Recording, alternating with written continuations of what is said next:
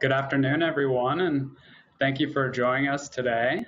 Um, we're going to take the next 30 minutes and talk to you about um, the Building Healthy Communities, Engaging Middle Schools Through Project Healthy Schools funding opportunity. So again, thank you, and for the next 30 minutes, we're going to give you some information about this unique funding opportunity we have for you.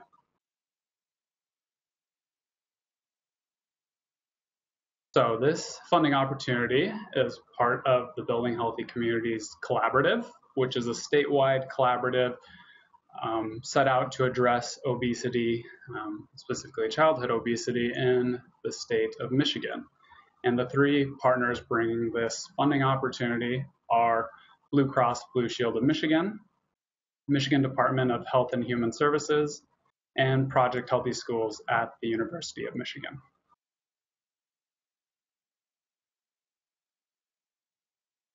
My name is Christopher Hernandez, and I will be joined today by Maggie Meyer. And also in the background, um, to answer any of your questions, is going to be Janice Stewart.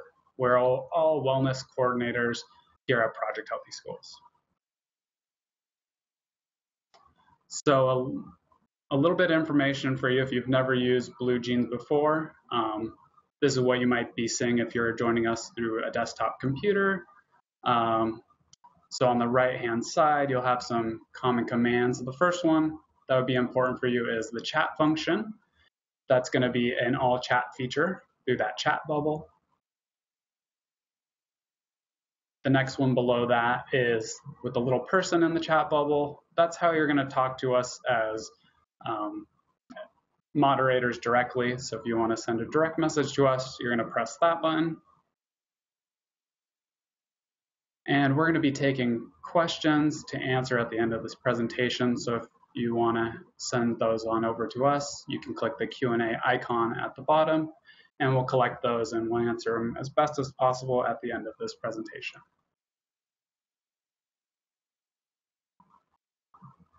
And then if you're joining us from a cell phone, your interface might look something like this.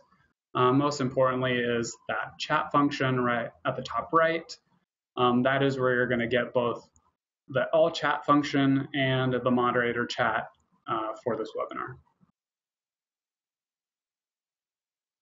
So let us begin. Uh, here's what we're going to cover today um, during this 30 minutes. We're going to tell you a little bit what project, about what Project Healthy Schools is, um, some eligibility to apply for this funding opportunity, an overview of the program steps for Project Healthy Schools, some of the resources that we do provide to participating schools, some expectations that we have of the schools in our program, and then we're going to go um, over how you can apply for this funding opportunity, um, some selection criteria, and some key dates to look out for.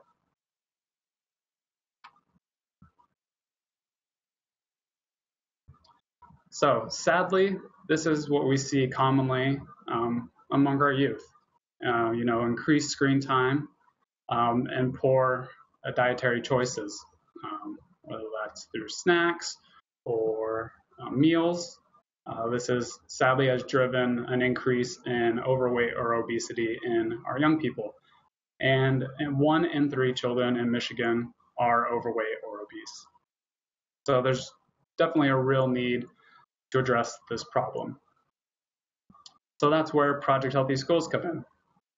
We are a community Michigan medicine collaboration to improve the present and future health outcomes through education, environmental change, and community engagement.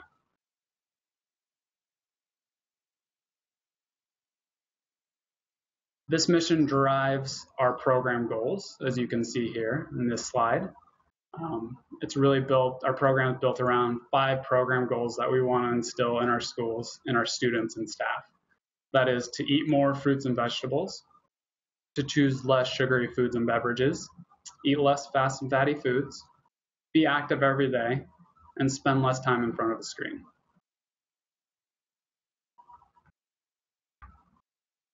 And some eligibility requirements are this funding opportunity is available for all public, charter, or private nonprofit schools. It is available to your school regardless of your free and reduced price meal, school meal percentage. or your geographic location. If you're currently participating in another health program like Fuel Up to Play 60 or the Michigan Model for Health, you still are eligible to apply for this program. And your school must serve the sixth grade to be eligible. Hi everybody, I'm Maggie Meyer and I'll be taking you through our five-step process. We have all schools follow these five steps to ensure successful completion of the program each year and you've got an on-site Project Healthy Schools Wellness Coordinator that will be assigned to each school to help guide and assist you through these five steps. Jumping right into step one, this is really where we start to build the foundation for a healthy school culture. Here we have schools identify one or more wellness champion. This champion can be a teacher, principal, counselor, or any other school staff member. The champion should have a willingness to lead, some knowledge of the resources available at the school, and just a general passion for health and wellness. This champion will be our main point of contact with the school and the coordinator assigned to your school will be doing regular site visits, phone calls, or emails just to keep up with this wellness champion. In this step, we also have schools form a wellness team. This is often a group of like-minded individuals that are driven to help the efforts of creating a healthier school culture. So wellness teams usually include a building administrator, food service representative, teachers, other school staff members, and sometimes we even get parents and students involved in this team.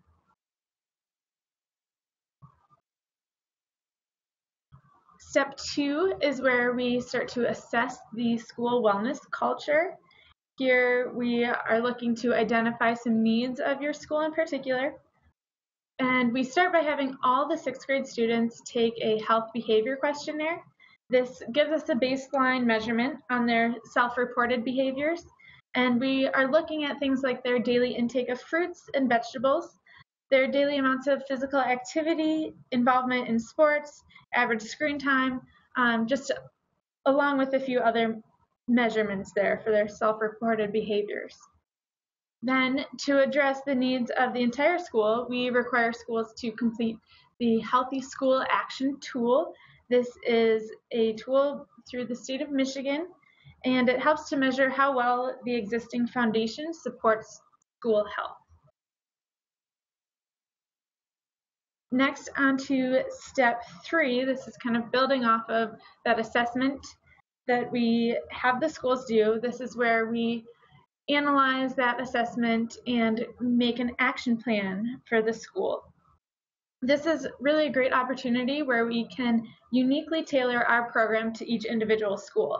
To do so, we take a look at those results from the Healthy School Action Tool, and we work with our schools to identify at least three school wellness goals that will serve as the main focus points as we are improving wellness at your school.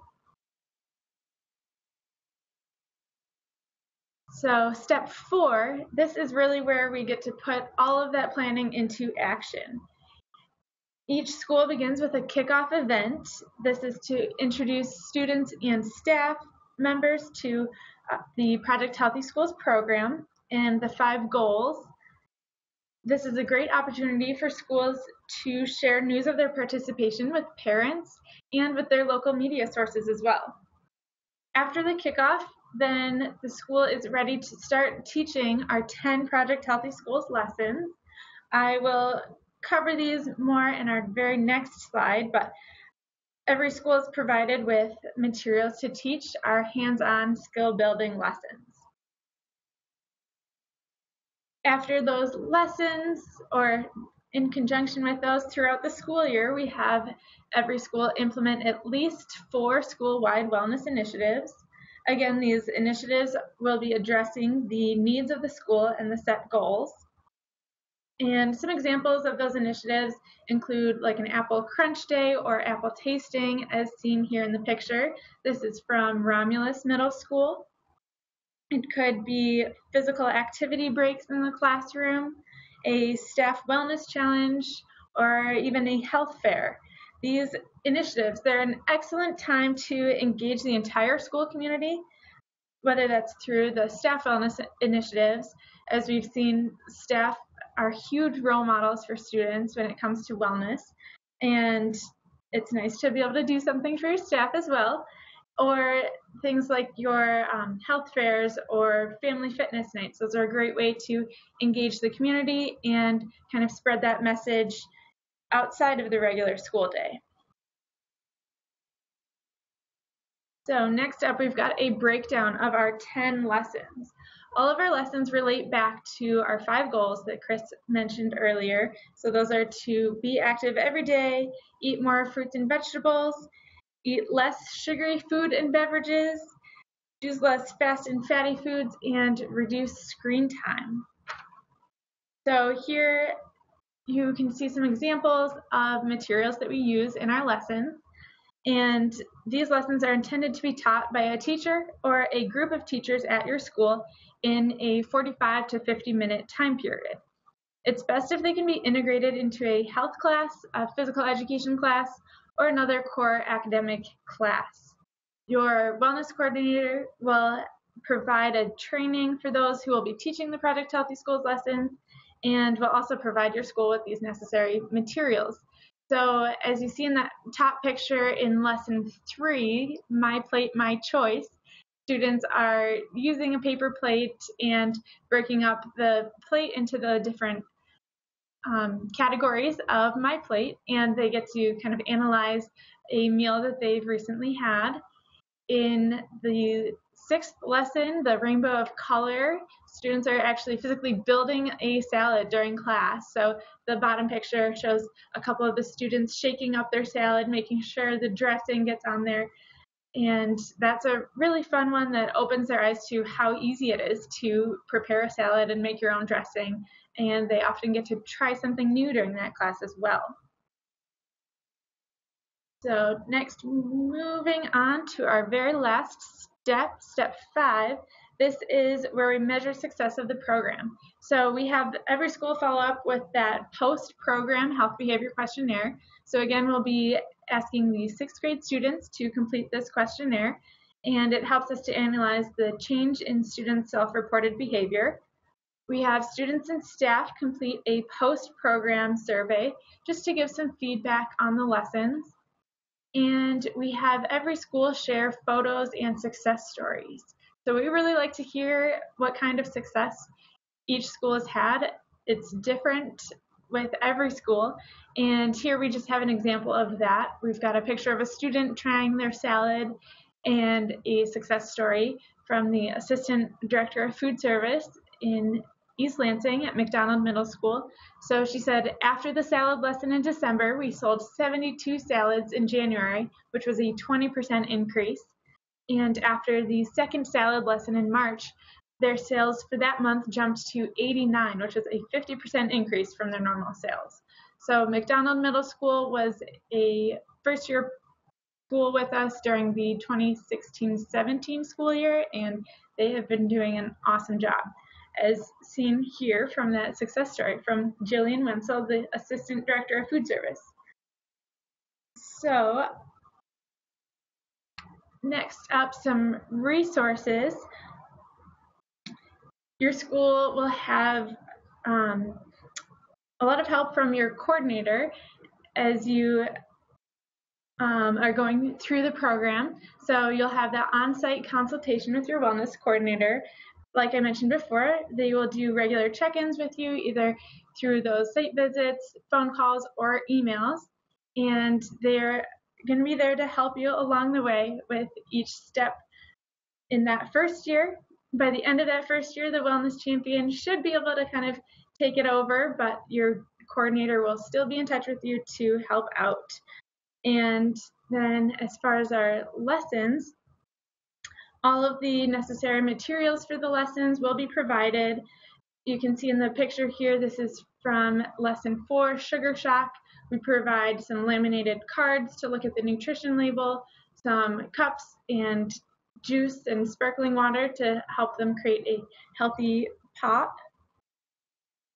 And For our lessons, we have written lesson plans with step-by-step -step instructions for each lesson. Um, and you have ongoing access to all of our online materials each year. So if any updates are made, you're going to be able to access those through our Project Healthy Schools portal.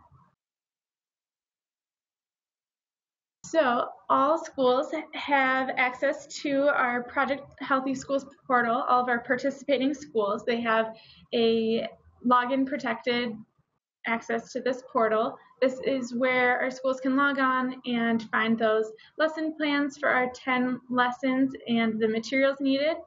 They have some guidance on the five steps, some additional ideas for wellness initiatives, and we have our up-to-date news and announcements.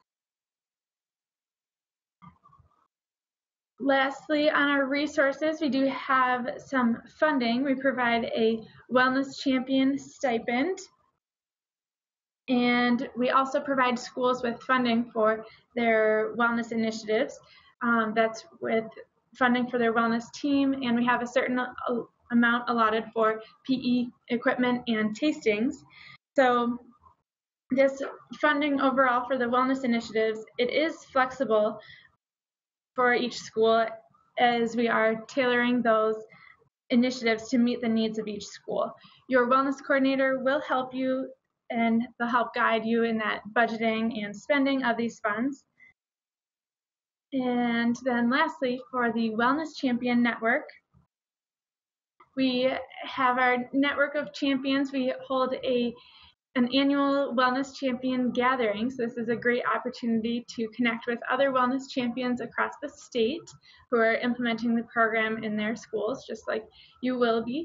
And it's an opportunity to share ideas and earn continuing education credit hours.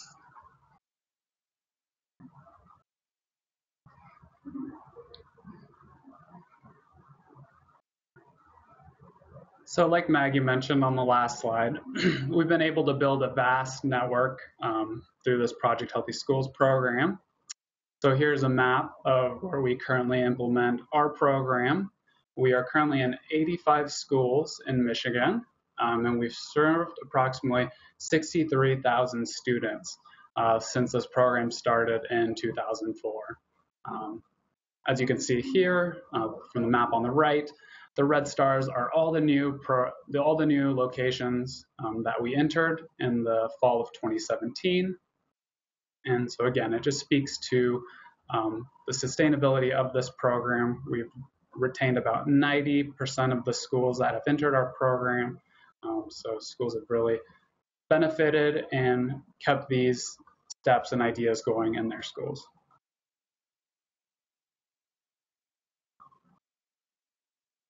we have seen great program impact in student self behaviors as well. Um, like Maggie mentioned, those um, health behavior questionnaires. Uh, this is where we gathered this data. So after program implementation, we did see increases in things like fruit consumption or participation in physical activity like school sports. And then we saw decreases in things like chocolate consumption or uh, screen time, as you can see there. So we did see impacts with our students and how they reported their behaviors after receiving this program. Now some expectations for our schools. It's crucial that we have an active wellness champion and administrative support during this program implementation. Um, there'll be regular meetings with your coordinator, so um, allowing allotting that time for a wellness champion and some administrative time to meet with the coordinator and implement these five steps in the school. We're asking that schools complete the Healthy School Action Tool um, during their time in the program. We want them to teach the 10 educational lessons to all sixth graders at the school. We want schools to hold at least four wellness initiatives during the school year. So things like those um, physical activity events, those nutrition, staff wellness, things like that. We want at least a minimum of four of those to occur during the year. Um, administration of those online program measurements like the health behavior questionnaire and the program surveys, and to share photos and success stories with Project Healthy Schools.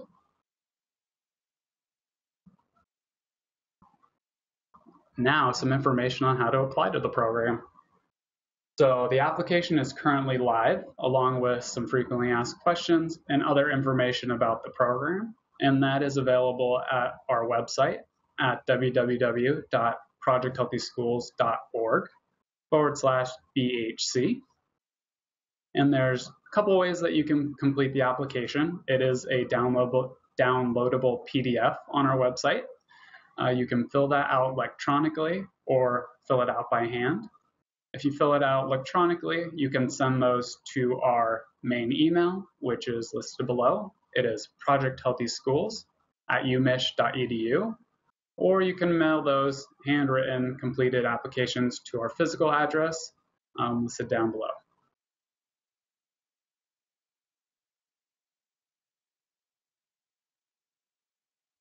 Now, we want to give you some tips to completing, um, to submitting a competitive application during this uh, funding opportunity. So we want if you can show us a level of commitment from administration and staff to complete these five program steps, including the Healthy School Action Tools, and that really helps sustain the program over time. We want administrators to be engaged throughout the application process as well. They'll be vital to program implementation in the fall of this coming school year it really is helpful if you can identify a core class where you can teach these 10 PHS lessons um, to all sixth grade students at your school. Identification of your wellness champion or champions, as well as a variety of other wellness team members, will be crucial for completing things like wellness initiatives and the lessons and the assessments throughout the year. And the bottom one is just have a completed application. Make sure you fill out everything that is asked throughout the application.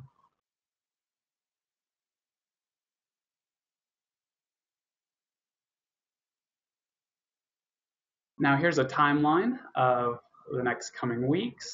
Um, the application, like I said, is currently live on our main website and the application deadline is March 30th of 2018 we will be conducting school interviews with those that submit an application in April and May of 2018. And then we will announce the recipients of this funding opportunity uh, June 1st of 2018. So again, we want to thank you so much for joining us today. Uh, to give you a little more information about this funding opportunity, uh, I know we've received a couple questions during this time, and so we're going to answer a couple of those. Um, but again, thank you for joining us. We are going to be um, uploading this video to that application webpage of projecthealthyschools.org forward slash BHC um, for you to view later, as well as the questions that were answered and the PowerPoint presentation for you to view. Um, so let's see one question was about when are you sharing? Uh, we will be sharing it up. We anticipate that those will be up later this week in the next couple days. Um, we'll have that recording up as well as the PowerPoint, but the application and the frequently asked questions are already up uh, for you to view. Um, another question that we got, uh, if you are selected, do we need to do anything to get ready for the program? Now, it's a really good question. There are a couple of things that you can do after the time of um, the time you are awarded uh, this funding opportunity and the start of the new school year. So we're going to be doing a um, half day on-site orientation um, with the administrator and staff members that have been selected as the wellness champions. Um, and that needs to be completed by October 30th of 2018. It'd be helpful if you have and have formed a wellness team, so identifying those like-minded individuals at your school, um, other staff, maybe some parents, administrators, um, community members. So forming a well-balanced wellness team before that date. And then completing a core assessment and two sub-assessments of the Healthy School Action Tool.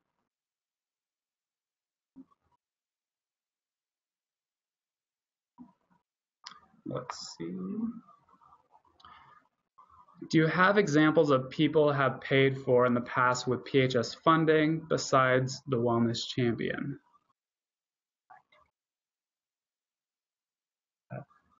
What people have paid for in the past? Um, I'm not sure. So, like the So one. I had a, a cherry slurp smoothie tasting in Detroit today. This is Jana speaking. Um, so we purchased some local Michigan cherries and did uh, cherry tasting in the cafeteria. That was for all the grades in the school to sample smoothies in their cafeteria. So tastings are a great way um, to invest your money. Another area might be, again, that PE equipment. So purchasing equipment so that your PE and health classes can do some really great things. Um, but you also might uh, do some challenges that have some small prizes uh, to promote health among students or staff. You might um, do a health fair that brings in vendors like, you know, chair massages or um, smoothie bikes or other things like that. So there can be little expenses kind of tied to the different events that you might throw, like 5Ks or field days. You'll often want to purchase cups for water or have snacks available. Um, so things like that. So your wellness champion will, uh, like we said, sort of decide what's the best way for you to spend your money, but it can pretty much be on just about anything that helps uh, meet your goals and promote health within your building.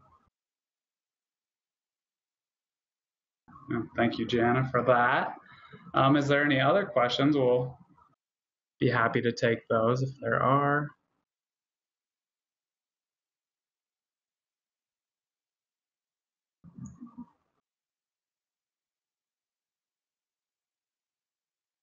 So can you talk a little bit about the program being evidence-based? So previously we did conduct biometric screenings um, for the students that were in the program. Um, although that is currently uh, not a requirement anymore, that was something that was done early on in program implementation uh, when the program first started, and we really did see improvements in physiological measures um, like decreases in blood pressure and triglycerides, uh, LDL. And so, although those aren't required anymore for schools to complete, uh, that really set the foundation um, for the program and um, the evidence behind this program working in schools. Thank you for that question. So if there's any other, we'll wait for those. Um, again, thank you so much for, for joining us and uh, we'll stick around for another five to 10 minutes. We know it's the end of the day. Um, if you were at school, again, thank you for joining us. Do we have a rough estimate for stipend amounts? Those really fluctuate with how we are funded for the program. So this is a partnership funded program. And so as a nonprofit, our funding varies from year to year. Um, but we've continued to be able to provide a stipend for our schools. So it's really hard to say a set amount, but we have continued since program implementation in 04, being able to provide schools and that wellness champion with a stipend to continue program implementation. Thank you for that.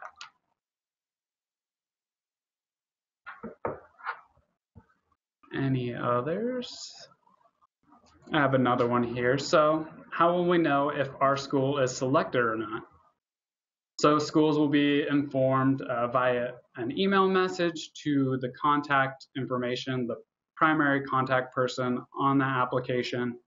And so we'll be sending word out if you were chosen or not um, on June 1st of 2018. Again, thank you. Thank you for sending in those questions and joining us today.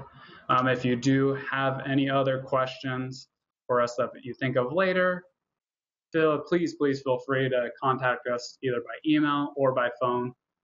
Again, the email is projecthealthyschools at umich.edu, or our main phone is area code 734 764 0290.